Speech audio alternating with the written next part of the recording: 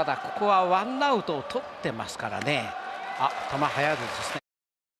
またいつ一発があるかわからないしね、ただフォアボール一つで流れが。5ということは5安打打たれたと見たっていいぐらいの重さがありますもんね。フォアボールもヒットも一緒ですよね、はい。シングルヒット進化ホームランというバッターは終盤怖いですよね。怖いですよね、え。